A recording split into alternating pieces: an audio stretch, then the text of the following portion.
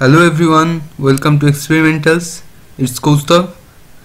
So restricting background data will reduce data consumption on internet. So I think it's necessary to restrict background data on your computer. So at first press the Control Alt and Delete these three buttons together. This will lead you to this window.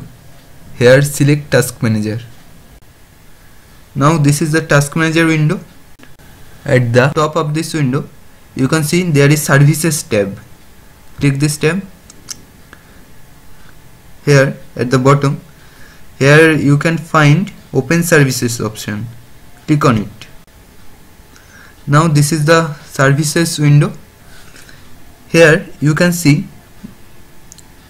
there is a service called background intelligent transfer service now right click on this and select properties. Here at startup type you have to choose disabled. And now the service status is running. You have to do it stop. Now press apply and then ok